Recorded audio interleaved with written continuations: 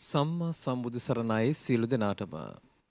බෞද්ධ රූපවාහිනිය පුවත sannivedanaya කරන උතුම් වූ දායකත්ව සද්ධර්ම දේශනාව මෙලෙසින් ආරම්භ කරන්නට මේ සූදානම. සද්ධර්ම දේශනාව පවත්වන්නට අප කෙරේ මහත් අනුකම්පාවෙන් මේ ධම්සභා මණ්ඩපයේට වැඩම කොට වදාළ පූජ්‍යපාද කෝරළයාගම සරණතිස්ස ගෞරවනීය ස්වාමීන් වහන්සේ අපි සියලු දෙනාම එක්ව සාදුනාද පවත්වා පිළිගනිමු. සාදු සාදු සාදු. පින්වත් පිරිසක් විසින් මෙමුතුම් සද්ධර්ම දේශනාව මෙලෙසින්ම ලෝකයටම sannivedanaya කරන්නට පින්බර දායකත්වයෙන් කටයුතු කරනවා. එසේනම් අප කෙරේ මහත් අනුකම්පාවෙන් මෙතෙන් සිට සද්ධර්ම දේශනාව පවත්වන්නට ගෞරවනීය ස්වාමින් වහන්සේට ආරාධනා කරනවා. ඊට ප්‍රථමයෙන් අපි සියලු දෙනාම තිසරණ සහිත පංචශීලයේ සමාදන් වීම සඳහා සාදුනාද පවත්වා තෙවරක් নমස්කාරය කියමු.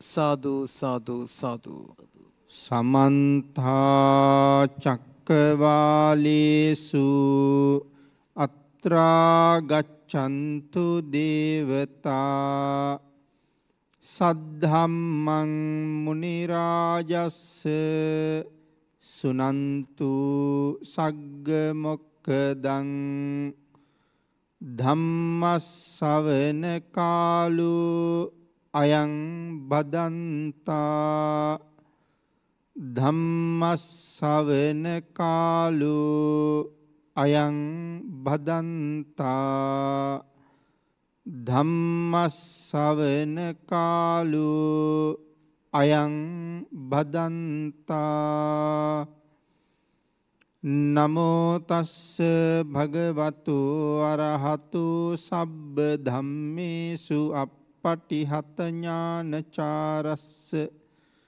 දස බලධරස්ස චතුවේ සාරජ්‍ය විසරදස්ස සබ්බ සත්තුත්තමස්ස ධම්මිස්ස රස්ස ධම්මරාජස්ස ධම්මස්සාමිස්ස තථාගතස්ස සබ්බඤුනෝ සම්මා සම්බුද්දස්ස නමෝ තස්ස භගවතු අරහතු සබ්බ ධම්මේසු අප්පටිහත ඥානචාරස්ස දස බලධරස්ස චතු වේසාරජ්‍ය විසරදස්ස සබ්බ සත්තුත්තමස්ස ධම්මිස්ස රස්ස ධම්මරාජස්ස ධම්මස්සාමිස්ස තථාගතස්ස සබ්බඤුනෝ සම්මා සම්බුද්දස්ස නමෝ තස්ස භගවතු අරහතු සබ්බ ධම්මේසු අප්පටිහත ඥානචාරස්ස දස බල ධරස්ස චතු වේසාරජ්‍ය විසරදස්ස සබ්බ සත්තුත් උත්තමස්ස ධම්මිස්ස රස්ස ධම්මරාජස්ස ධම්මස්සාමිස්ස තථාගතස්ස සබ්බඤුනෝ සම්මා සම්බුද්දස්ස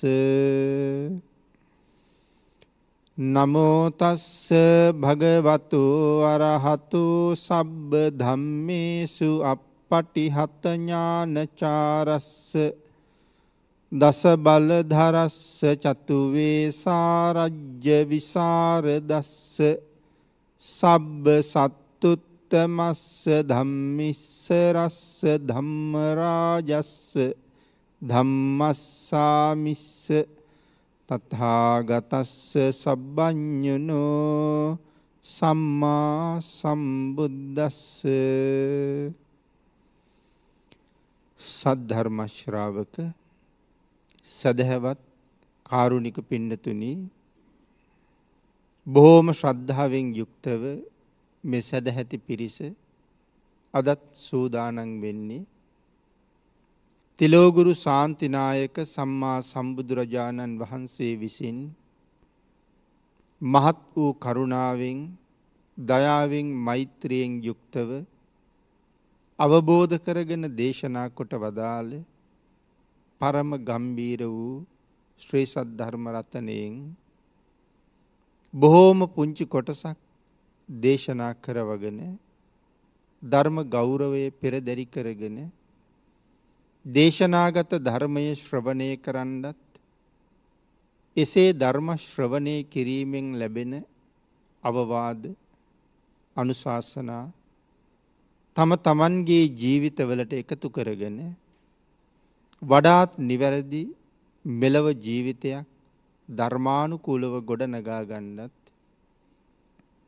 නිවැරදි කරගත්ත ධර්මානුකූල වූ මෙලව ජීවිතයක් තුළින් නිවන් දක්නා ජාති දක්වා සතරාපායාදී දුක්ඛයන්ට පත් නොවී සුගතිගාමී භවයන්හි සැනසෙමින් ප්‍රාර්ථනා කරන බෝධියෙන් සැප සහගත ප්‍රතිපදාවකින් ඊ타ම ඉක්මන් භවයක උතුම් චතුරාර්ය සත්‍ය ධර්මය අවබෝධ කරගෙන මේ සංසාරෙන් එතර වීමේ බලාපොරොත්තු ඇතුව ඒ උතුම් බලාපොරොත්තු උතුම් ප්‍රාර්ථනා එලෙසින්ම මුදුන්පත් කර ගැනීම සඳහා අදත් මේ උතුම් සද්ධර්ම දානානි සංසයත් ශ්‍රවනානි සංසයත් සියලු දෙනාටම හේතුවේවා කියලා ආශිර්වාද කරනවා.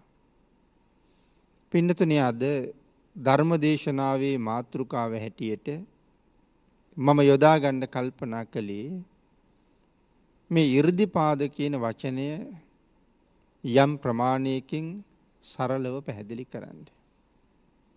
ඉර්දිපාද කියන වචනය ධර්මය තුළ අපි බොහෝ අවස්ථාවන් වල අහන වචනය.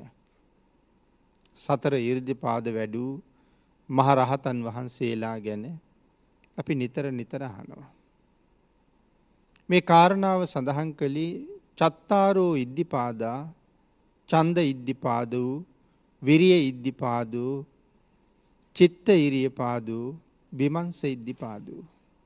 ඉරදිපාද තියෙනවා හතරක්.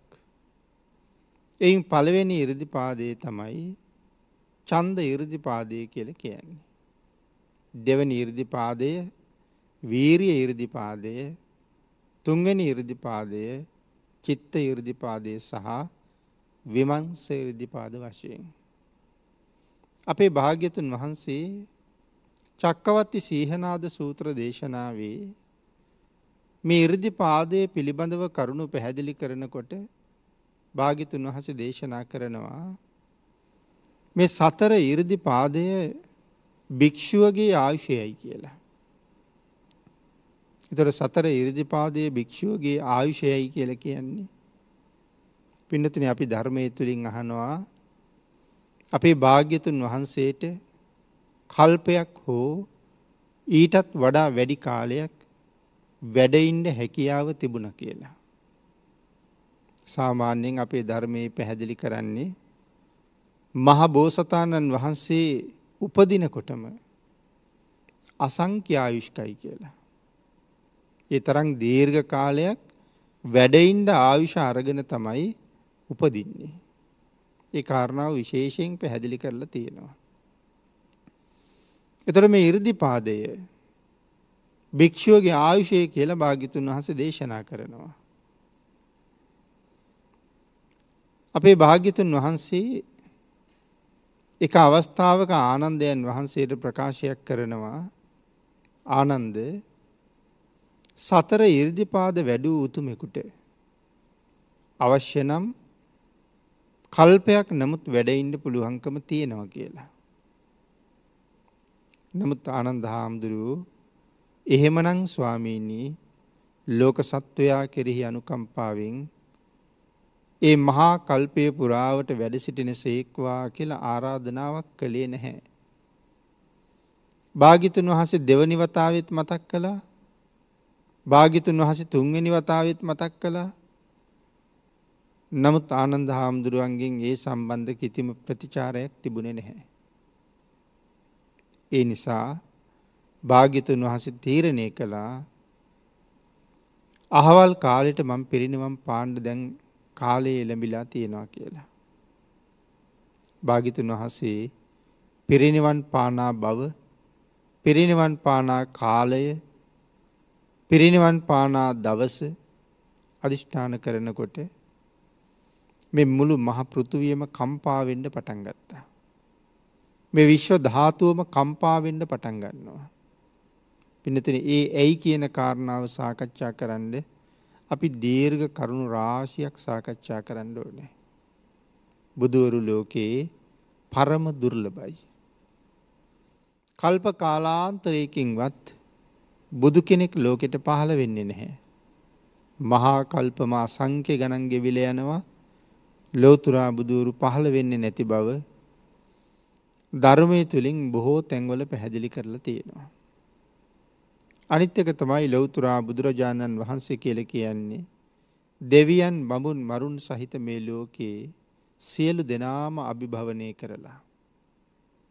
මේ ලෝකින් එතර වෙලා සියලු දෙනාටම ඉහලින් වැඩඉන්න විශ්ව ධාතුවේ පහළ වෙන උත්තම රතනය. ඉතින් එවන් රතනයක් මේ විශ්වයට අහිමිවීම පිළිබඳව විශ්වය පවා කම්පාවට පත්වීමක් තමයි මේ විවිධ හේතුන්ගෙන් පෙන්නුම් කරලා තියෙන්නේ. භූමි කම්පා ඇති වෙනවා අහස ගොරවනවා විදුලි කොටනවා මේ වගේ විවිධාකාර සිදුවීම් සිද්ධ වෙනවා.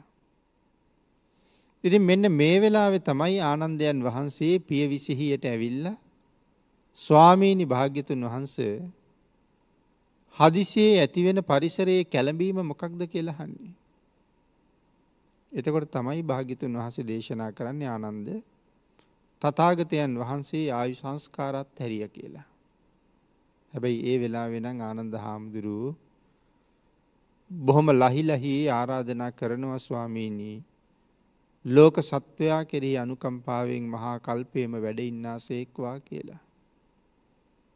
භාගිතුන් වහස පැහැදිලි කළ ආනන්ද මං ඔබට තුන් වතාවක්ම මේ කාරණාව දැම් මතක් කළා. නමුත් ඒ එකදු අවස්ථාවකවත් ඒ පිළිබඳව ආරාධනාවක් මට ලැබුණේ නැහැ. ඒ නිසා මම ආයුසංස්කාර අත්හැරියා. නැවත වතාවක් ඒ ආරාධනාව භාරගන්න ස්වභාවයක් බුදුරජාණන් වහන්සේ ළඟ නැහැ. යමක් ප්‍රතික්ෂේප කළොත් ඒ ප්‍රතික්ෂේප කලාමයි. භාගිතුන් වහස එහෙම සඳහන් කලා ඉතින් ආනන්දයන් වහන්සේ ආරාධනා නොකරන්න හේතුවත් සඳහන් කරනවා. මේ වෙලාවේ මාරයා විසින් ආනන්ද හාමුදුරුවන්ගේ හිත අල්ලලා තිබුණ කියලා. ඒ නිසා මේ කාරණාව පිළිබඳව ආනන්දයන් වහන්සේට ලොකු අවබෝධයක් භාගිතුන් වහසික වචනය පිළිබඳව ලොකු වැටහීමක් තිබුණේ නෑ.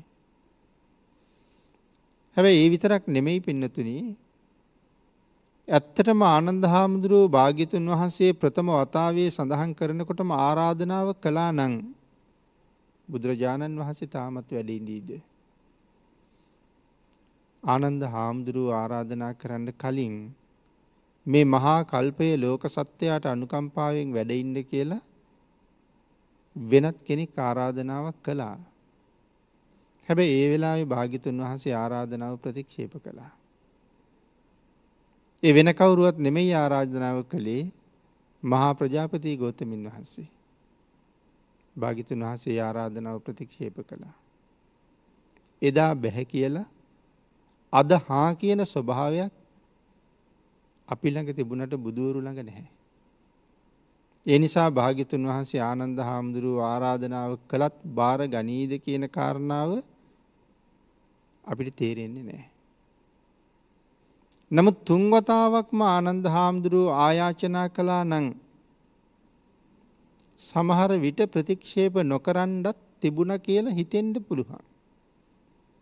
ඇයි මේ ශාසනයේ බොහෝ දේවල් අපි බුදුරජාණන් වහන්සේගෙන් තුම් පාරක් ඉල්ලනවනේ.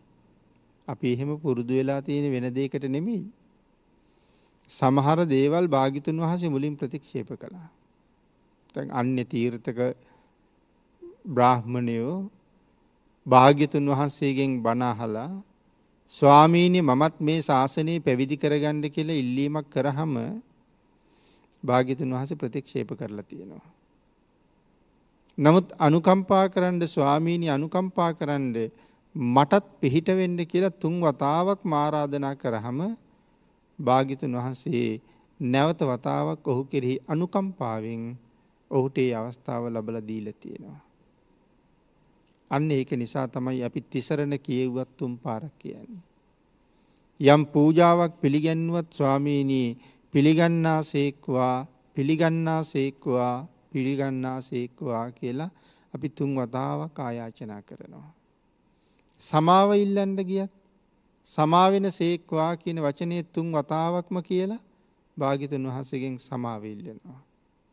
තිමි තුන් වතාවක් යම් ආයාචනාවක් කරහම ඒ පිළිබඳව මහත් වූ කරුණාවකින් භාග්‍යතුන් වහන්සේ අවධානය යොමු කලා කියන එක ධර්මයේ සඳහන් කරලා තියෙනවා. ඉතින් ආනන්ද හාමුදුරුව තුන් වතාවක් ඉල්ලීමක් කළෙත් නැහැ. ඉති ඒ නිසා ආනන්ද හාමුදුරන්ට බොහෝ චෝදනා පවා භික්‍ෂූන් වහසලගෙන් එල්ල වුනා පළවෙනි ධර්ම සංගායනාවවාගේ අවස්ථාවන් වල පවා. භාගිතුන් වහසගේ පරනිර්වාණයෙන් පස්සේ. ආරාධනාව කරන්න කියලත් ආරාධනා කළේ නැහැ කියලා. නමුත් පින්නතුනී ප්‍රජාපති ගෝතමින් වහන්සේ ආරාධනාව කරපු වෙලාවේ භාගිතන් වහස ප්‍රතික්ෂේප කරන්න ඇත්තේ ඇයි කියල කල්පනා කළොත් බුදුවරුන්ට තන්හාාවක් නැහැපින්නතුනි.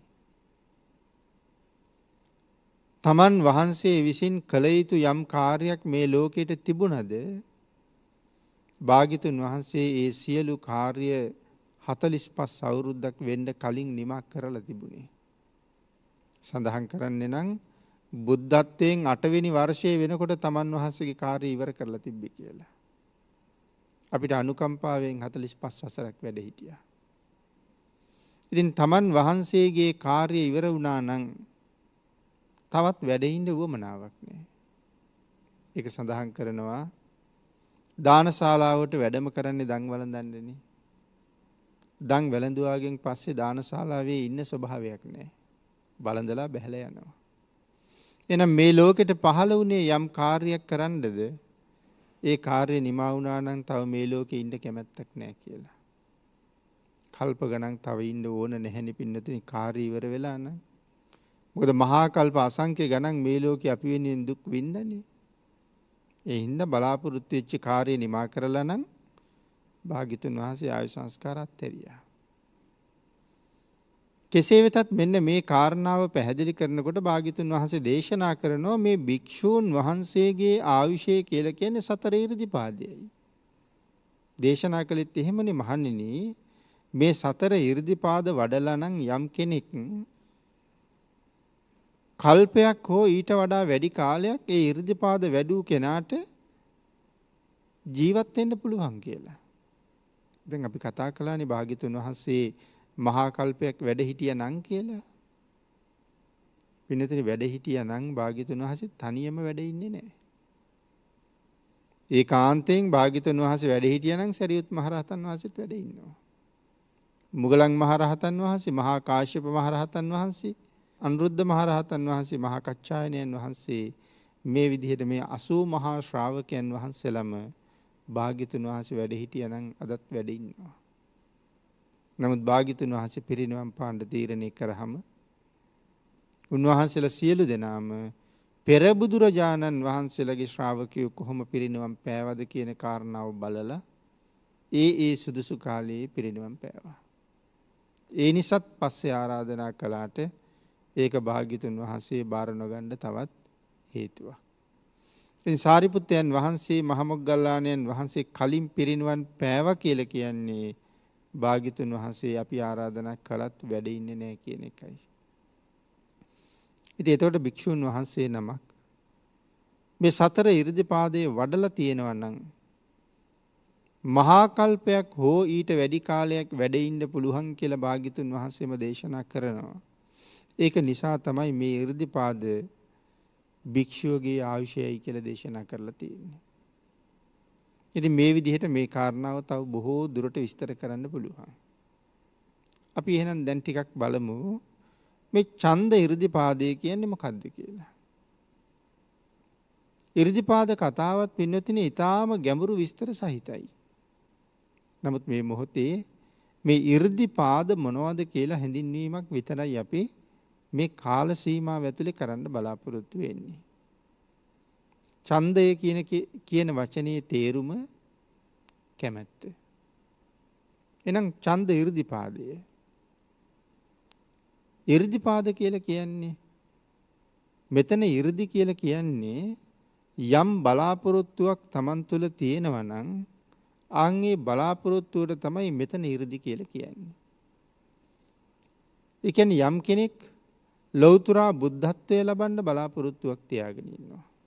එතකොට ඉරදිය කියල මෙතන කියන්නේ බුදු බව ලැබීම. එතොට චන්දය කියල කියන්නේ බුදු බව ලබන්ඩ තියෙන කැමැත්ත. ඒකයි චන්ද ඉරදි පාද කියල කියන්නේ. එතොට මෙතන චන්ද ඉරදිපාදය පැහැදිලි කරනකොට යම් 이르දියක් නැත්තම් යම් උතුම් තානාන්තරයක් මුදුන්පත් කරගැනීමේ බලාපොරොත්තුවක් යම් කෙනෙක් ඇති කරගෙන ඒ බලාපොරොත්තුව ඔස්සේ ක්‍රියාත්මක වෙනවා. පින්නතුනි මේ බුදු පසේ බුදු මහරහත් මේ උතුම් තනතුරු ගැන විතරක් නෙමෙයි. එදිනෙදා මේ ලෞකික ජීවිතයේ තුලත් අපි ළඟ ඕන තරම් බලාපොරොත්තු තියෙනවා. මුදුන්පත් කරගන්න කැමති දේවල් තියෙනවා. නමුත් ඒ බලාපොරොත්තුව මුදුන්පත් කරගන්න අන්තිම හිනිපෙත්ත දක්වාම ගමන් කරන්න හැමෝටම පුළුවන්කමක් නැහැ. ඒක කරන්න පුළුවන් මහා වීරියවන්තයෙකුට විතරයි. අන්න එහෙම බැරි හින්දා තමයි සමහර අය සමහර කටයුතු ආරම්භ කරලා ටික දුරක් කාර්ය කරගෙන ගිහිල්ලා මගදී අත්හැරලා දාන්නේ. එහෙම අවස්ථා ඕන තරම් අපි දකිනවනේ. සමහර දේවල් පටන් ගන්නවට වඩා වේගෙන් වහලා දානවා. මොකද ඒක නිමාවක් දක්වා පහසුවෙන් හෝ අපහසුවෙන් හෝ කරගෙන යන්න තරම් ධෛර්යයක් නැහැ. නමුත් අපි සාමාන්‍ය ලෞකික ජීවිතය ගැන කතා කළොත් කෙනෙකුගේ බලාපොරොත්තුවක් තියෙනවා නම් වෛද්‍යවරයෙක් වෙනවා කියලා. ළමෙක් සාමාන්‍ය පෙළ වගේ විභාගයක් පාස් කරලා එහෙනම් ඊළඟ විෂයන් මම මොනවද තෝරගන්නේ?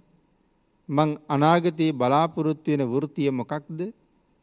ඉතින් වෛද්‍යවරයෙක් වෙන්න බලාපොරොත්තු වෙන කෙනෙක් ඒ සඳහා ප්‍රගුණ කරගත යුතු ශිල්ප ප්‍රගුණ කරනවා.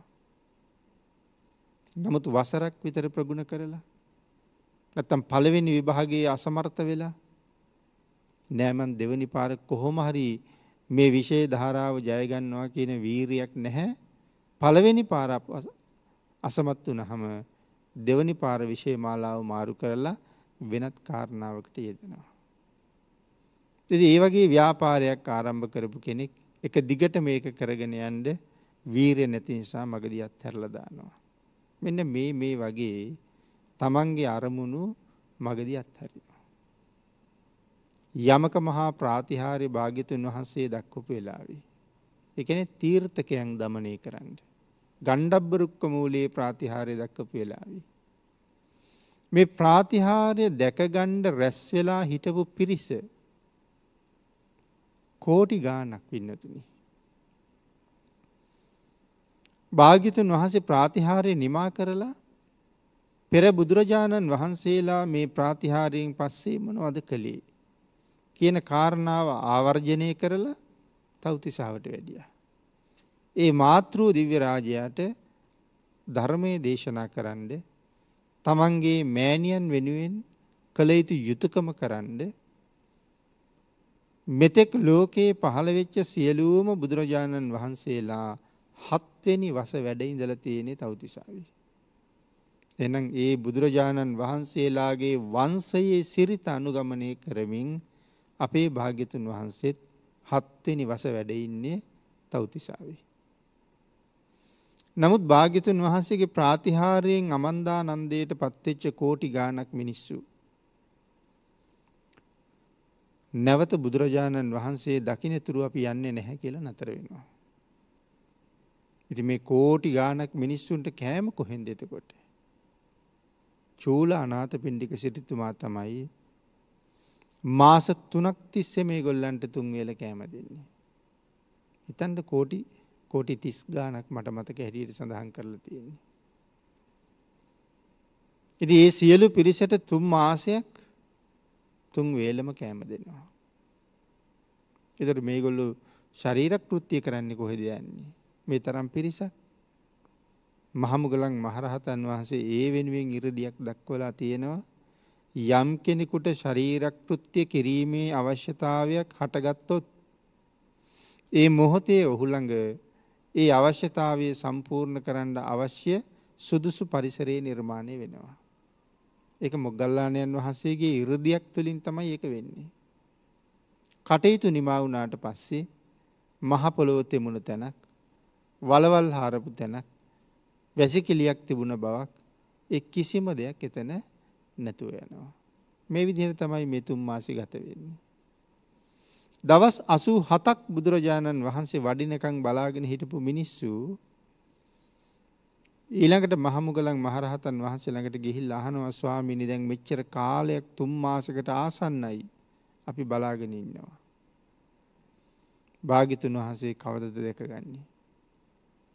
ඒ වෙලාවෙ තමයි මහමොග්ගල්ලානයන් වහන්සේ ඉරදියක් දක්වලා මහමෙර තුළින් වැඩම කරලා භාගිතුන් වහන්සේගේ සිරිපාද පද්මය ළඟින් තෞතිසාාවෙන් මතු වෙනවා.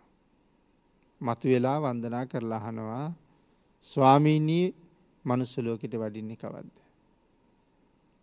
ඒවෙලායි සඳහන් කළා මේ තුම්මාසේ නිමා වුණහම තව දින කීපයයි ම මනුස්සලෝකට අපහු වඩිනවා. සෑම බුදුරජාණන් වහන්සේ නමක් වගේම මමත් වැඩම කරන්නේ සංකස්ස පුරදවාරයටයි. ඒ ගැන පිනතින මෙතෙක් විශ්වයේ පහළ වුණ සියලුම බුදුරජාණන් වහන්සේලා හත්වෙනි වස්කාලයේ නිමා කරලා වැඩම කරලා තියෙන්නේ සංකස්සපුරයට.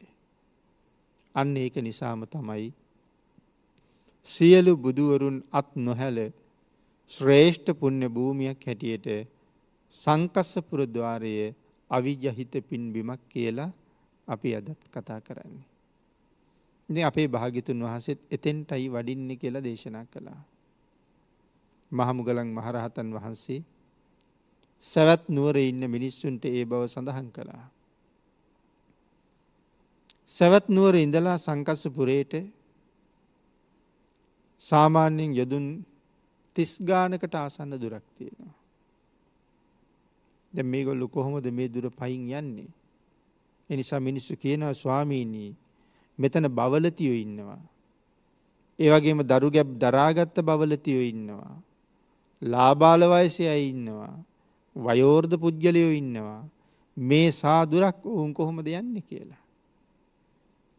මහමොගල්ලානයන් වහන්සේ ඒ පිරිසට ආමන්ත්‍රණය කරලා කියන්නේ උපාසකවරුණී යන්ඩ පිටත් එෙන්ඩ කියලා විතරයි.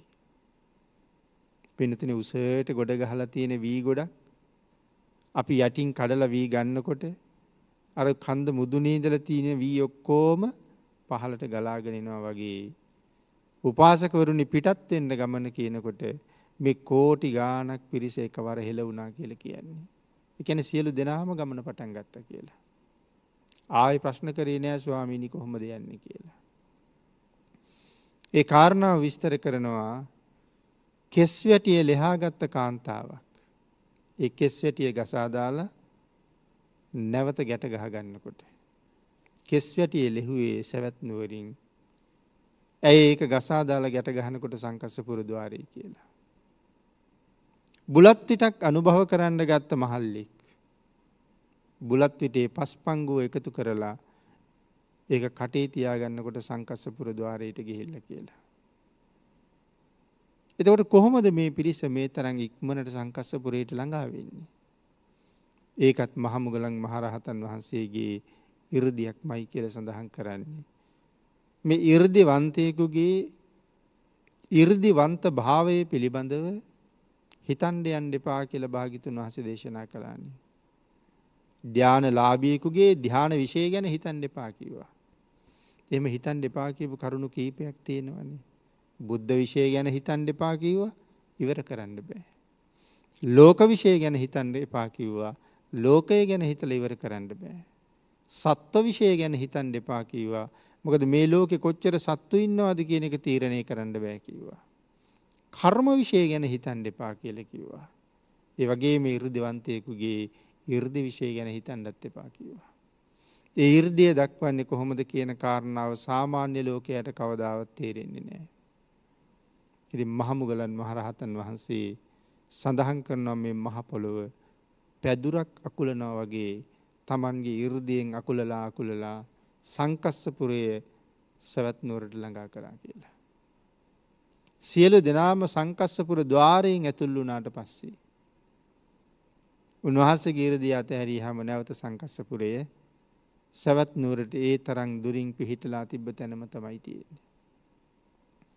ඉතින් අපිට හිතෙනවානි සංකස්සපුරේ අහරින් අකුලනකොට කැඩිලාව නම් ලොකු අගාධයක් තියෙන්න ඕනැන කියලා.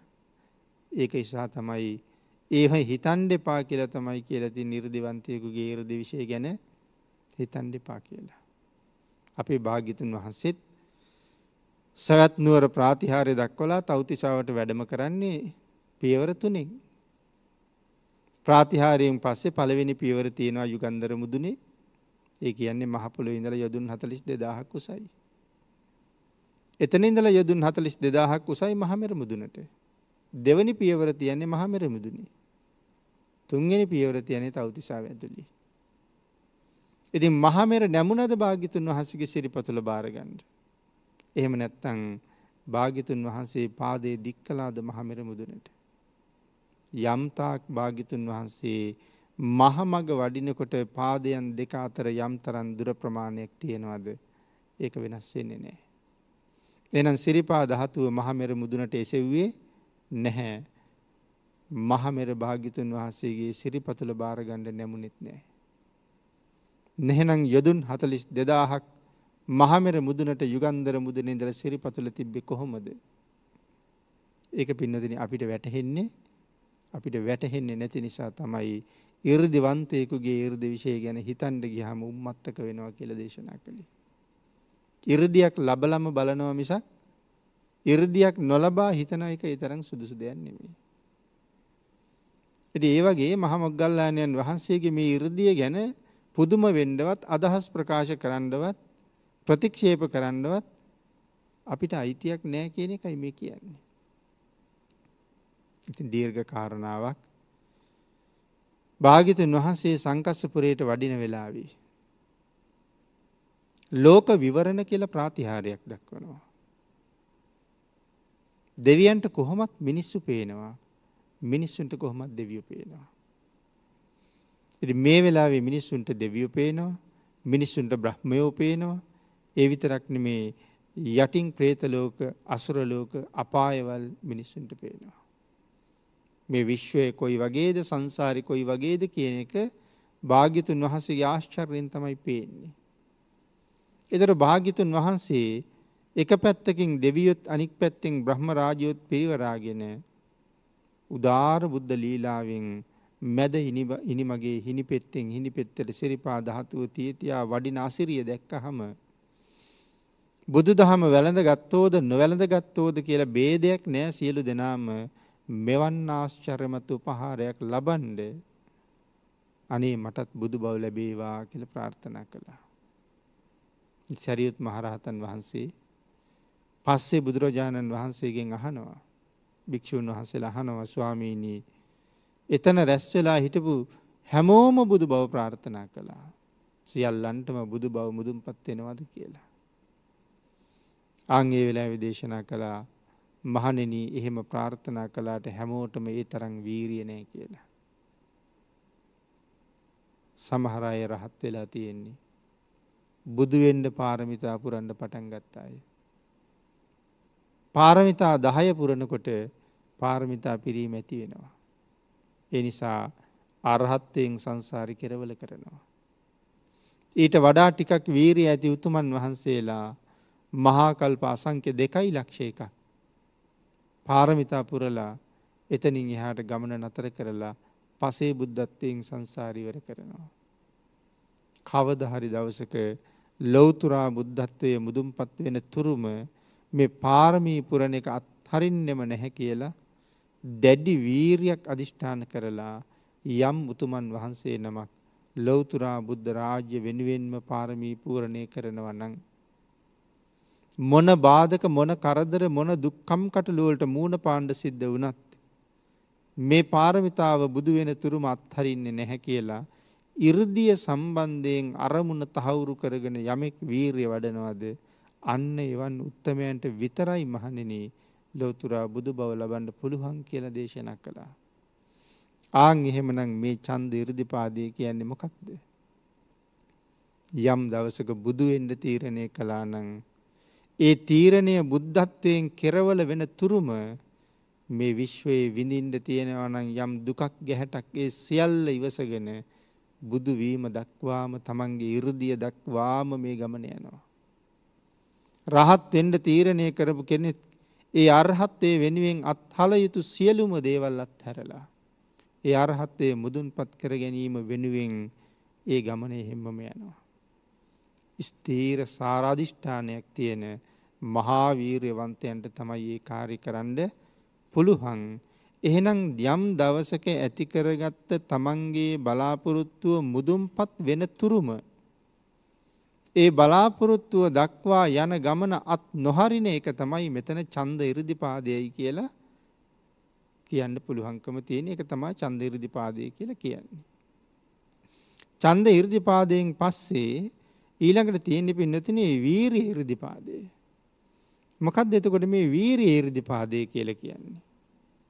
පින්නතිනේ වීරි හෘදිපාදය කියලා කියන්නේ සතර සම්‍යක් ප්‍රධාන කතාවේ සඳහන් කරපු වීරි හෘදිපාදයයි. මොකද්ද මේ සතර සම්‍යක් ප්‍රධාන කතාව කියලා කියන්නේ?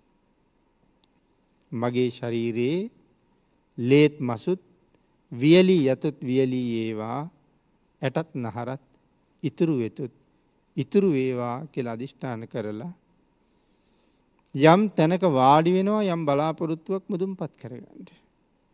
සමහර උතුමන් වහන්සේලා අපේ මහබෝසතාණන් වහන්සේ සොත්තිය බ්‍රාහ්මණය දුන්න කුසතන ටික බෝධි මූලයේ වජ්‍රාසනය මත අතුරලා මෙන්න මේ චතුරංග සමන්නාගත වීරිය අදිෂ්ඨාන කරලානේ වාඩි වුණේ.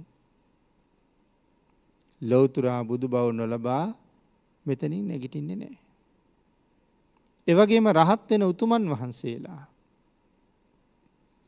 යම් දවසක කර්මස්ථාන අරගෙන ඒ විදිහට වාඩි වෙලා තියෙනවා. ඒ අති උතුම් රහත් බව මුදුන්පත් නොකරගෙන නම් බම් මේ ආසනින් නැගිටින්නෙම නැහැ කියලා. එමනම් මගේ ශරීරයේ ලේත් මසුත් වියලී යතුත් වියලී ඒවා. ඇටත් නහරත් ඉතුරු වෙතුත් ඉතුරු වේවා. මගේ බලාපොරොත්තුව මුදුන්පත් නොවීන් නොනැගිටිමී කියන අධිෂ්ඨානයට කියනවා අපි සතර සම්යක් ප්‍රධාන වීරිය කියලා. මෙන්න මේ වීරිය තරම් දැඩි වීරියකට තමයි මෙතන විරිය ඉරිදිපාදය කියල කියන්නේ. චිත්ත ඉරිදිපාදය කියල කියන්නේ.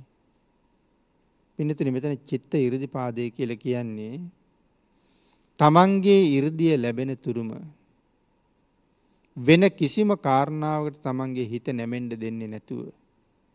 අතිශයෙන් ඉරදියටම නැමුණ සිතට කියනවා චිත්ත ඉරදිපාදය කියලා. ඒ හිත වෙන කිසි දිහාකට නැමෙන්න්නේ නෑ. ඉරදිය සඳහා පමණයි නැමිලති නිර්දිය කැන බලාපොරොත්තුව වෙනුවෙන් පමණයි යොමු වෙලා තියෙන්නේ මට මේ ලෝකෙ වෙන කිසිම දෙයක් අවශ්‍ය නැහැ මගේ මේ ඉලක්කයට යන්ඩයි ඕනේ. එකම අරමුණේ ඉලක්කේ සම්පූර්ණ කර ගැනීමයි. චිත්ත ඉරිදිපාදය. ඉරිදිය ලබන්නට පෙර ඒ සිත් නැවත කාමයන්ට නැමෙනවනං එතන චිත්ත ඉරිදිපාදයේ සම්පූර්ණ වීමක් නෑ. තැක් සමහර කෙනෙක් සංසාරය කෙරවල කරන්න කියල හිතාගෙන පැවිදි වෙනවා. සසර දුක දැකල මේ සංසාරෙන් එතරවෙන්න ඕන කියල පැවිදි වෙනවා. පස්සෙ කාලික ඒ පැවිද්ද ආපහු අතහැරලා ඒ අරමුණ මුදුන්පත් නොකරගෙනම හිත කාමයට බර වෙලා ඒ ගමනෙන් අහකට යනවා. ඒ වගේ ඕන තරම් අවස්ථා ගැන අපිට කතා කරන්න පුළුවන්නේ. ඉතින් මෙතන චිත්ත 이르දිපාදයයි කියලා කියන්නේ අරමුණ හැර හිත වෙන කොහෙවත් නැමෙන්නේ කියන එක. අපි මේ කාරණාවට උදාහරණයක් කතා කරමු. පින්නතුනි විමංශ 이르දිපාදේ කියලා කියන්නේ මේ අපාය දුක සංසාරේ දුක මේ අපා දුක සසර දුක එහි තියෙන භයානකත්වය එහි තියෙන විශාලත්වය දැකලා මේ සංසාර දුක්ඛයෙන් එතර වෙන්න ඒ කාන්ත අධිෂ්ඨානයක් තියාගෙන මේ භයානක සසරට නැවත කවදාවත් මං බැහැගන්නේ නෑ කියන තීරණය පදනම් කරගෙන සංසාරයෙන් මිදෙන්ඩ දරන උත්සාහයට කියන තවත් නම බෙමන් සේරදි පාද කියල කියනවා. එනම් ඉරදි පාදයන්ගෙන් යම් එකදු ඉරදි පාදයක් හරි. යම් කෙනෙක් ළඟ තියෙනවා නං. ඔහුට නිවන ඒ තුළින් ශාක්ෂාත් කරගන්න පුළුවන්. එකන නිවන ප්‍රත්‍යක්ෂ කරගණ්ඩ නං මේ ඉර්දිපාද තුළින් එක ඉර්දිපාදයක් හරි තියෙන්ට කියල කියනවා. එකන ඒ කායන අරමුණක් තියෙන්ඩ මෝනේ. එක ඉර්දිපාදයක් හරි හරියට වඩපු කෙනෙකුට නිවනට ළඟාවෙන්ඩ පුළුවන් නං සතර ඉරදි පාදේම වඩන කෙනෙක් කොයි තරං පහසුවෙන් නිවන ග්‍රහණය කරනවද කියන කාරණාව අමුතුවෙන් කියන්න අවශ්‍ය නෑ පින්නතුනි. එමනං මේ නිවන් මගේ වීරය නැති අයට ගමන් කරන්න බෑ කියන එකයි මේ කියන්නේ. නිවන පිළිබඳවම යොමුණ හිතක් තියෙන්ට ඕනේ. අන්න ඒක නිසා සඳහන් කළා ඉර්දී අනුසස් දන්න කෙනෙක් මේ ඉස්කන්දාදී ගම්බීර ධර්මයන්හි හැසිරීමට සමර්ථ වූ ඥානයක් ලබනවා. මේ ධර්මයේ බොහොම ගාම්බීර කොටස් සාකච්ඡා කරනවා. අභිධර්ම පිටකේ ධර්මයේ ඉතාම ගැඹුරු කොටසක්. නිවන අපේක්ෂා කරන පුද්ගලයා. මේ කොටස ගැඹුරුයි. ඒ කොටස අහන්ඩ මම කැමති නැහැ. මේ කොටස නං මට එපා. මේ කොටස බුදුරජාණන් වහන්සගේ නෙමේ එහෙම කිය කියා නිර්මල පර්යාප්තියේ කොටස් ප්‍රතික්ෂේප කර කර තමන්ගේ අභිමතය පමණක් තමන් කැමති දේ පමණක් අහමින් ඒ නිවනට ඇන්ඩ ලෑස්ති වෙන්න නෑ. අපි කැමති ධර්ම කොට්ටාසයෙන් විතරක් අපිට නිවන් දකින්න බෑ. අපිට නිවන් දකින්න ඕන මග මේ අසූහාර දහසක් ධර්මස්කන්දේ ඇතුළේ භාගිතුන් වහසේ අන්තර්ගත කරලා තියෙනවා. ආංගේ ධර්මය හදාරමින් ශ්‍රවණය කරමින් යන අතරතුර මම පාරෙන් වෙනස් කරන බණපදය. මගේ සිතුවිලි වෙනස් කරන බණපදයක්. මේ සංසාරයෙන් මම ඈත් කරවන බණපදයක් මට ඔය බනාහන අතරතුර කොතන හරි මුණ ගැහෙනවා. ආං ඉන් පස්සේ මං ඒ ඔස්සේ ගමන් කරනවා මේ සංසාරි කෙරවල හොයන්ට. ඒ නිසා මගේ හිත නිවනට දැඩිශේ යොමු කරන ආංගේ ධර්මකාරණාව මගහැරවගන්න නැතුව අහගණ්ඩ ඕන නිසා තමයි බණ අහන්ඩ පටන් ගත්තහම භාවනාවකට සමවැදන වගේ වචනයක් ගානයේ ධර්මය අහන්ඩ කෙලකිවි. වචසා පරිචිතා. අන්න ඒ වගේ පින්නතින මේ විමන් සේරදි පාදය තුළ විශේෂයෙන් සඳහන් කරනවා ස්කන්ධාදී ගම්බීර ධර්මයන්හි හැසිරීමට සමර්ථ වූ ඥානය යම් කෙනෙක් ප්‍රගුණ කරනවාද ඒක විමන්සේරදි පාදයයි. ගම්බීර ධර්මය හදාරන්ඩ අවශ්‍ය ඥානය ප්‍රගුණ කරනවා කියල කැන ඒ ධර්මය පිළිබඳව හසල අවබෝධයක් ලබමින් කැමැත්ත උපදවනවා කියන එකයි. ඉතින් අපි චන්ද ඉරදි පාදය ගැන කතා කළා ධර්ම දේශනාවට තියෙන කාලයේ නිමාවමින් පවතින නිසා අපි නැවත කෙටියෙන් උදාහරණයක් එක් ආවර්ජනය කරමු රට්ටපාල මහරහතන් වහන්සේ. එක දවසක් බුදුරජාණන් වහන්සේගෙන් බනාහපු රට්ටපාල කුමාරයා බුදුරජාණන් වහන්සේගෙන් ඇහුව ස්වාමීනි මාව පැවිදි කරවන්න බැරිද කියලා. මව්පියන්ගෙන් අවසර අරගෙන්ට කිවා. ගෙදර ගිහිල් ඇහු හම බෑකීවා. නොඒ හේතුකිව අපිට ඉන්න නුඹ විතරයි. මේ මහා දනස්කන්දයට උරුමකං කියන්න වෙන කෙනෙක් නෑ. මේ පරපුර ඉදිරියට ගෙනියන්ට වෙන කෙනෙක් නෑ. එහින්ද පැවිදි වෙන්න එපා. කුමාරය සඳහන් කළා මට පැවිදි වෙන්න දෙන්න ඇත්තං මං උපවාස කරනවා. මම නොකා නොබී ඉඳල මැරිලයනවා.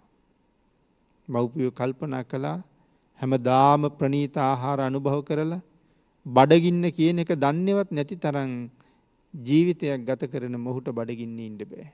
වැඩිම වුණොත් වේලක් අනුභව නොකර ඉදී දෙවනි වේල නැ ඉවසන එකක් නෑ කියලා. හැබැයිතින් දවසක් හිටිය දෙකක් හිටිය තුනකුත් ඉන්නවා. මව්පියෝ කඳුළු වක්කර වක්කර කියනවා කරුණු කනකටවත් ගන්නේ නෑ. යාළුවන්ට එන්ඩ කීවා. ඕගොල්ලො කියල බලන්න කිව්වා. නෑදෑයන්ට එන්ඩ කීවා. ඕගොල්ලොත් කියල බලන්න කීවා. කවුරුවත් කියන දෙකින් වැඩක් නෑ. අන්තිමට සියලු දෙනාම තීරණය කළා මෙහෙම ඉඳල මැරුණොත් අපිට පුතෙක් හිටිය කියල තමයි කියන්න වෙන්නේ. මහනවෙන්ඩ අවස්ථාව දුන්නොත් අපේ හාමුදුරුවෝ කියල කියන්න කෙනෙක් හරි අපිට ඉන්නවා පැවිදි කරවමු කියලා. එහෙනම් පැවිදි වෙනින් පුතේ කියලා කියන කංම තමන්ගේ අදහස් අත්හැරිය නෑනේ. ඒ වීරි අත්හැරිය නෑනේ. එනම් පැවිද්දට අවසර ලැබෙනවා කියන කාරණාව මුදුම්පත් වෙන තුරුම අවසර ලැබෙන තුරුම ඒ උපවාසය ක්‍රියාත්මක කළා. චන්ද ඉරදිපාදයට තියෙන හොඳ උදාහරණයක් මේක. පිනතින තේමිය කුමාරයා කොයේ තරං නිරෝගීව ඉඳලද මේ තරන් දුක්කන්දරාවක් වින්දේ. හැම මොහොතකම සතරාපාය මතක් කරලා විඳින්ඩ දෙන හැම දුකක්ම ඉවසුවේ තමන්ගේ අරමුණ මුදුම් පත් කරගන්නකංමයි. උදාහරණ ගොඩක් කතා කරන්න කාල වේලාව මදි. එනම් චන්ද ඉරදිපාදයට රට්ටපාලයන් වහන්සගේ කතාව බොහොම වටිනවා අපිට අවබෝධ කරගන්න වීරිය ඉරදිපාදයට කාගේ කතාව වටිනවද. ඒ වෙනුවෙන් පැහැදිලි කරන්න තියෙන හොඳම චරිතය තමයි සෝන මහරහතන් වහන්සගේ චරිතය. සෝන රහතන් වහන්සේ ගැන අපේ පින්නතුන් අහලතිනවා. බිම්බිසාර මහරජ්ජිරුවන්ගේ රාජ්‍යයේ රජ්ජිරුව යටතේ ජීවත්වෙන තරුණ සිටුපුත්‍රයෙක් මොන තරං සැප විඳපු කෙනෙක්ද කියනවනම් මේ රලු පොළොව ඇවිදලා නෑ පින්නතිනි කවදාවත්. ඒ නිසා තමයි යටිපතුල්වල ලෝම වැවිල තිබුණ කියල කියන්නේ. බිම්බිසාර රජ්ජිරුවන්ටත් පුදුමයි කොහොමද යටිපතුල්වල ලෝම එන්නේ කියලා. ඒ නිසා තමයි ගෙන්න්න ගන්න බලන්ට. ඔයාතරි තමයි භාගිතුන් වහස ගැන දැන ගණඩ ලැබින්. මොන්න තරං සැප සම්පත්තියෙන් නැද්ද එකන ඇවිද්දෙම නෑ කියල නෙමේ මේ කියන්නේ. ඇවිදිනවා. ඉතාම සිනිදු ලෝම සහිත බුමුතුරුණු මත තමයි ඇවිදින්නේ කවදාවත් වැලි පොළොවේ රලු පොළොවේ පයිතියල නෑ. ඉතින් භාගිතුන් වහන්සේ ළඟට ගිහිල්ල පැවිද්ද ඉල්ලනවා. බාණ්ඩුකර සියල් අත්හැරිය කොච්චර සැපවිඳින කෙනෙක්ද. සෝන සිටුවරයගේ කෑම වේලක් මහමුගලන් මහරහතන් වහන්සේ අරගෙන ඇවිල්ලා. රජවරු සිටුවරු මැති ඇමතිවරු භාගිතුන් වහන්සේට ගෙනාපු දංවේලා අතරි තියල පියන විවෘත කරහම පාත්තරී. රජවරු අහන්නේ ස්වාමීනි මොන දිවිය ලෝකෙන්ද මේ කෑම වේල කියලා. එත් තරම්ම සුවඳයි. එතකොට තමයි සඳහන් කරන්නේ මහරජ දිවිය ලෝකින් නෙමෙයි නුබේ යටත් වැසියගේ කෑම වේලක් ඕක කියලා. මගේ යටත ඉඳගෙන මෙහෙම කෑම කන්නේ කවුද කියලා බලන්නත් රජ්ජිරුවන්ට ඕන වුණා. පැවිදි වෙලා දැඩිව අධිෂ්ඨාන කළේ ඉක්මනට රහත්තෙන්ට. එයින්ද සක්මනට බැහල සක්මන් කරනවා. කවදාවත් වැලිපොළ වැඩිය තියල නෑ. බොහොම වේගෙන් පාද දෙක ගෙවුණා. ලෙ ගලනව කකුල් වලින්. ලේ ගලන එක උන්වහන්සට වැඩක් නැහැ සක්මන මුදුම් පත්තෙන්ඩයි යෝනි. සිත එකඟ කරගණ්ඩයි යෝනි. නමුත් ලේ ගලන එක නවතින්නේ නෑදැන්. ඊට පස්සේ දනිස් දෙකින් සක්මන් කරනවා.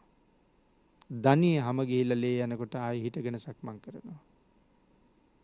වීරිය. බලාපොරොත්තුව මුදුම් පත් කරගණ්ඩ තියෙන කැමැත්ත උන්වහන්සේගේ වීරිය වැඩී පින්නතුනි. වීරිය වැඩිවුනත් බලාපොරොත්තුව මුදුම් පත්වෙන්නේ. උන්වහන්සේගේ වීරිය අඩු කරන්න කියල භාගිතුන් වහස දේශනා කළා. හැබැයි ඒ වීරිය වැඩී කිව්වේ යටිපතුල් පුපුරලා ලේ ගලන කොටත් සක්මං කර නුතුමෙකුගේ. දනහිස් දෙක හමගිහිල්ල ලේ ගලනකං සක්මං කර නුතුමෙකුටයි කිවේ වීරය වැඩී කියලා. අපි කවදාවත් හිතන්න හොඳ නෑ එහෙනම් අපේ වීරියත් වැඩිද දන්නේ කියලා. පන්සිල්වත් රැක ගණ්ඩ වීරිය නැති මිනිස්සු ළඟ නිවන් දකින්න කොහෙ වීරියක් තියෙනවද කියලා තමයි හිතන්ඩ වෙන්නේ. එයින්ද මේ වීරිය වැඩී කියන කතාව අපිට නෙමේ කියන්න පින්නතුනි. ඉතින් භාගිතුන් වහන්සේට අනුව උන්වහන්සේ අරහත්වය බොහොම ඉක්මට ලැබවා. බීරි අඩු කරවල අඩු කෙරෙව්වට පස්සේ. ඊළඟට මේ චිත්ත ඉරදිපාදය. චිත්ත ඉරදිපාදය පිළිබඳව කාරණා සඳහන් කරනකොට පිනතන චිත්ත ඉරදිපාදය පිළිබඳව විශේෂයෙන් පැහැදිලි කරනකොට දේශනා කරනවා රහතන් වහන්සේ නමක් පිළිබඳව උන්වහන්සේ සම්භූත මහරහතන් වහන්සේ. ලොවතුරා බුදුරජාණන් වහන්සේගෙන් කර්මස්ථාන ඉල්ලගෙන. වනාන්තරයේ වැඩඉඳගෙන කායගතා සති භාවනාව වඩනවා. අං ඒ වෙලාවේ යක්ෂයන්ට අධිපති වෙසමුණි දිව්‍යරාජයා හසින් යනවා. එලිමහන් භූමියක භාවනා වඩන සම්භූත මහතරුන් වහන්සේ දැකලා. වෙසමුණි රජ්ජුරුව අහසින් බැහැලා. දනගහල වැන්ද. වැඳල උන් රජ්ජුරුව පිටත් එන්නයි හදන්න වෙසමුණි රජ්ජුරුව. ආරක්ෂාව සඳහා යක්ෂයෝ දෙන්නෙක් නතර කළා. තෙරුන් වහන්සේ සමාධියයට සමවැදිල ඉන්නවා උන්වහන්සේ අප සමාධීෙන් අවදි වෙනකං ආරක්ෂා කරන්න කියලා. අවදි වුණ හම කියන්නෙකිව වෙසමුණී මහරජ්ජිරු ඔබ වහන්සේට වන්දනා කරලා ගියා ආරක්ෂාවට අපි දෙන්න තියල ගියා කියලා. සමාධීෙන් අවදි වුණ හම යක්ෂයෝ දෙන්න ඒ කාරණාව කියනවා. ස්වාමිනි ඔබ වහන්සගේ ආරක්ෂකය දෙන්න අපි වෙසමුණි රජ්ජිරුව තමයි අපි නැවැත්වී කියලා. අන්න එතකොට සඳහන් කරනවා යක්ෂයිනී අපිට තොපගේ ආරක්ෂාව වශනෑ. අපේ ශාස්තෘ වෙච්ච තිලෝගුරු සම්මා සම්බුදුරජාණන් වහන්සේ අපිට ආරක්ෂාවක් දීල තියෙනවා. ඒ ආරක්ෂාව තොපට වඩා ගොඩක් බලවත් කියලා. මේ යක්ෂය උමනෝද ආරක්ෂා කරන්නේ. ආරක්ෂා කරන්න මේ ස්කන්ධ පංචකේ. මේ ශරීරයට කරදරයක් කරයි කියලන ආරක්ෂා කරන්නේ. සතරපායයි කියල යක්ෂයට අපි ආරක්ෂා කරන්න බැහැනේ. ඒකයි මේ සඳහන් කරන්නේ. භාග්‍යතුන් වහන්සේ දුන්න ආරක්ෂකය හැර වෙන ආරක්ෂකය අපිට නැහැ. ඒ ආරක්ෂකවා වගේ බලවත්තෙන්ට තොපට බැහැ. එයින්ද ගිහිල්ලා තොපගේ මහරජ්ජිරුවන්ට කියන්න. භාග්‍යතුන් වහන්සේ මට ආරක්ෂකයෙක් දීලා ඉන්න හොඳටම ප්‍රමාණවත් කියලා. කෞද භාගිතුන් වහසේ දීලා තියෙන ආරක්ෂකය. උන්වහසේ සඳහන් කරනවා යක්ෂයිනී. භාගිතුන් වහසේ සිහිය නැමති ආරක්ෂකය මට දීලා තියෙනවා. එනම් ජීවිතයේ හැම මොහොතකම සිහිය ප්‍රඥාව සහිතව වාසය කරන්න කෙළ කියල තියෙන්නේ එකයි. යමෙක් සිහියෙන් නං වාසය කරන්නේ යෝනිසෝ මනසිකාරයෙන් නං යමෙක් කටයුතු කරන්නේ. ඔහු කවදාවත් අකුසලයට නැමෙන්නේ නැහැ. යෙදෙන්නේ අකුසලයකටද ඒ මොහොතේම තමන්ට මෙනෙහි කරනවා තමන්ට සංඥාවක් දෙනවා මේක පවක් මේක පිනක් ඒ සංඥාව එක්ක පව් කරන එකෙන් වහාම ඇත්තෙනවා. ගිනි අඟුරක් තියෙන තැනකට පාදේ තියන්ට ලෑස්ති වෙනකොට අවසානය දැනගත්තොත් ගිනි අඟුරක් කියලා. අපි එතෙන්ට පය නොතියා එතනින් පණින හැටි. කටු අත්තක් පෑගෙන්ට යනකොට අන්තිම මොහොති දැක්කොත් එක කටු අත්තක් කියලා අපේ පාදය ඉවතට විසිවෙන හැටි යෝනිසෝ මනසිකාරයෙන් ඉන්න කෙනා මේ කෙරෙන්ඩ යන කාර්ය පාපයක් කියල දන්නවා නං පාපයෙන් වලකිනවන්නේ වගේම. එනිසා සිහිය නැමති ආරක්ෂකයා භාග්‍යතුන් වහන්සේ අපිට ලබල දුන්නා. ආංගීට අනුව වෙන ආරක්ෂයව අවශ්‍ය නෑ කියල කියන්න කිවා. විමන් සේරදි පාදයට සඳහන් කළේ පින්නතින මෝගරාජ මහතෙරුන් වහසගේ කතාව. මෝගරාජ මහතෙරුන් වහන්සේ විමන් සේරිදි පාදය පිහිට කරගෙන රහත් බවට පැමිණිච්ච උතුමන් වහන්සේ නම. භාවාරි නම් මෙ තාපසයගේ ප්‍රධාන ශිෂ්‍යයා භාවාරි තාපසයට ශිෂ්‍යයෝ දාසය දෙනෙක් හිටියා. ආංගේ පිරිසේ සැම දෙනාටම වඩා නුවනින් වැඩිම කෙනා තමයි මෝගරාජ කෙල කියන්නේ. බුදුරජාණන් වහන්සේ විසින් දේශනා කොට වදාළ එක පැනයකට පිළිතුරු. ආගේ භාගිතුන් වහන්සේ විචාල පැනයට පිළිතුරු ලබල දීලා. ඒ පැනේ විසඳලා ඇතිකරගත් අවබෝධ ඥානය පදනම් කරගෙන. මනා විමසුම් නුවනකින් උන්වහසිතා කෙටි කාලයකින් මේ මෝගරාජ කියන බ්‍රාහ්මණයගේ ශ්‍රාවකය මෝගරාජ කියල කියන්නේ බ්‍රහ්මණය නෙමේ. භාවාරි කියන බ්‍රාහ්මණයගේ ශිෂ්‍යයෝ. ඒ ශිෂ්‍යයෝ දාසය දෙනාගෙන් ප්‍රඥ්ඥාවන්තම ශිෂ්‍යයා. භාගිතුන් වහන්සේගේ දහමින් සංසාරි කෙරවල කරන්න කටයුතු කරගත්තා. මනා විමසිලිමත් නුවනක් තිබුණ. මොකක් දහරි මොකක්ද වැරදි කියලා. එනම් භාවාරියෙන් ඉගෙන ගත්ත දේට වඩා මේ සංසාරින් එතරයන්ට භාගිතුන් වහන්සේගේ බුද්ධ වචනය මහත් උපකාරයි කියලා අවබෝධ කරලා තිබ්බා. එහෙමනං හැම වෙලාම විමසුම් නුවනක් අපි ළඟත් තියෙන්ට ඕනේ. ඒ විමසුම් නුවන නැති තැන තමයි අපි ධර්මයට පිටුපාලා වර්තමාන මිත්‍යයා දෘෂ්ටිය කරා දුවන්න පටන්ගන්න. අංගික නිසා සංසාරි කොච්චර අසරණ වේද කියන එක තේරෙන්නේ. එනම් මේ විදිහට පින්නතුනී මේරදි බාධ හතර පිළිබඳව අපි ඉතාම කෙටියෙන් කරුණු සාකච්ඡා කළා. ඒ වගේම උදාහරණත් සාකච්ඡා කළා. නැවත මේ ඉරදිපාදයන් පිළිබඳව මෙනෙහි කරලා සංසාරින් එතර වෙන්ඩ නං මේ ඉරදිපාද අපි තුළත් ප්‍රගුණ වෙන්ඩෝනේ. අන්න එදාට තමයි අකුසලයෙන් ඈත් වෙලා කුසලේ මත පිහිටලා කටයුතු කරන්න අපිට වීර්ය වඩන්ඩ ශක්තිය ලැබෙන්නේ. ඒ ශක්තිය පාදක කරගෙන භාග්‍යතුන් වහන්සේගේ ආශිර්වාදයක් ඇතුව මේ සංසාරෙන් එතර වෙන්ඩ සියලු දෙනාටම ශක්තිය දහිරිය භාග්‍ය වාසනාව උදාවේවා කියලා ආශිර්වාද කරනවා. උතුම් වූ ධර්ම දානමේ පුණ්‍ය කර්මයට නොයෙක් ආකාරයෙන් දායක වූ සියලු දෙනාගේම සහභාගිත්වයෙන් මේ උතුම් ධර්ම දානමේ පින්කම සිදු කරන බව දායකත්වය දරන සැදැහැති පින්වත් පිරිස සඳහන් කරනවා.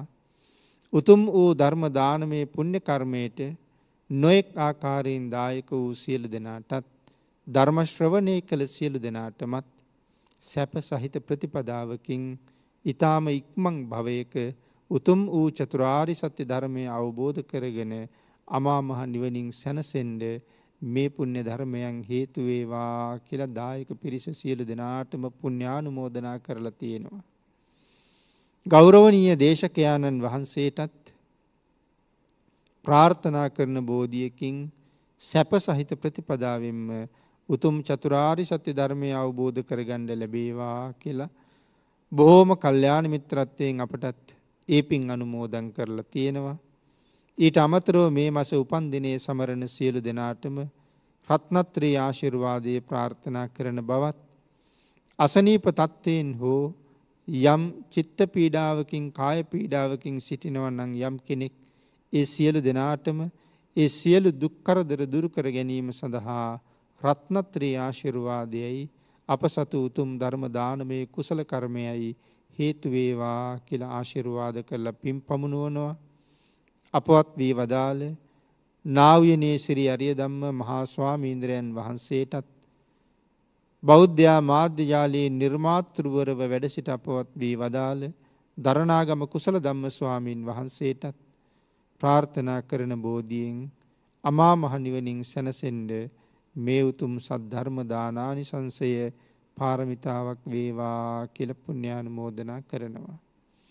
මේ උතුම් පුුණ්‍ය කර්මය ලෝක සත්වයා වෙනුවෙන් ධර්මදානයක් හැටියට සිදු කරන්න ලක්වැසි ලෝවැසි සියලු දෙනාටම සද්ධර්මය දානය කරවන්න කටයුතු කළ ඒ උතුම් වූ පුුණ්‍යවන්ත පිරිස සියලු දෙනාටමත් මේ සියලු කුසල ධර්මයන්ගේ අනන්තානුභාවයෙන් මෙලව සිදු කරන යහපත්කට සියල් කටයුතු සියල්ලක් සරුව සම්පූර්ණ වේවා. ශ්‍රද්ධාව මුල් කරගෙන සිදු කරන සියලුම කුසල ධර්මයන් මනාව සිදු කරගන්න ශක්තිය දහිරිය ලැබේවා කල්්‍යාන මිත්‍රයන්ගේ ඇප උපකාර නිරන්තරයෙන් ලැබේවා මෙලව සුවපත් කරගෙන පරලෝ සුගතිගාමී කරගෙන ප්‍රාර්ථනය බෝධියෙන් සංසාරෙන් එතරවෙන්ඩ මේ පුුණ්‍ය ධර්මයන් සියලු දෙනාටම හේතුවේවා කියල ප්‍රාර්ථනා කරමු.